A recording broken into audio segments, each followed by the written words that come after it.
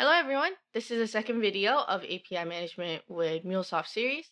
The goal of this series is to introduce you to various aspects of API management you can do with Anypoint platform regardless of where your API is built and running.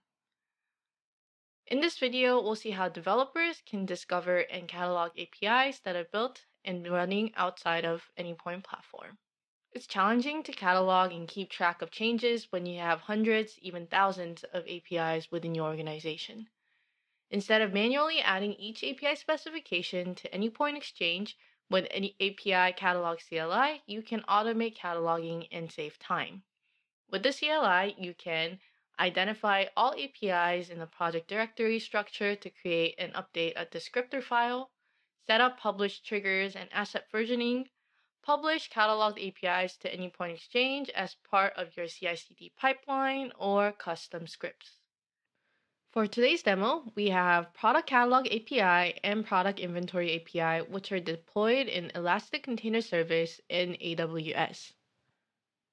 The API specification and the application code for both are stored in a Git repository. The APIs are currently not visible to rest of the IT organization for reuse.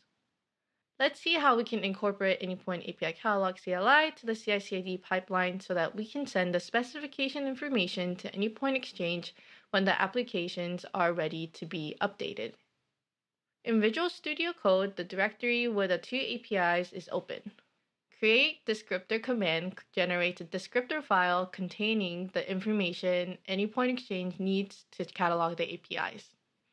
API Catalog CLI will then go through the directory, including the nested folders, to find the API specification files such as RAML or YAML files, and output the descriptor file that has the API definition file name, asset ID, asset version, and API version. You can also manually include documentation, tags, context, version strategy, and publish trigger information. If more APIs are added to the directory or changed, you can run update descriptor command to update the descriptor file automatically. Once the descriptor file is updated, you can automatically publish and update the catalog by including Anypoint API Catalog CLI in the organization's CI/CD pipeline. This is a GitHub Actions pipeline which includes publish asset command. When the changes are committed to the Git repository, APIs are published to Exchange automatically. Now, let's go to Anypoint Exchange. Here, we can see the two APIs. When we drill down to one of them, we can see the documentation we added to the descriptor file, as well as the auto-generated documentation from the API specification. By taking advantage of Anypoint API Catalog CLI and Anypoint Exchange, Documentation and sharing of APIs can be simple and automated, providing universal visibility to any API in any environment.